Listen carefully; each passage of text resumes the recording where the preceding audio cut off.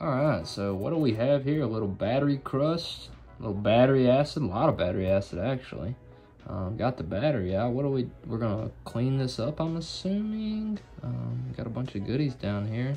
Uh, no, that was a perfectly good Coke you just threw away, my man. Throw the battery cleaner away too. Just destructive. What we have here? He's shaking his head like it's whiskey. Is it whiskey? No, looks like coffee. Maybe some Folgers. Stick. That's not how you put sugar in your coffee. Um, well, I guess we're just gonna let this chill out in here for a second. All right. Wow. Wow. It actually took all the battery acid off. Well, imagine that's some good tasting coffee now. I mean, it's a very good looking battery post. No, no, no, no. That is, ooh, oh, oh, oh.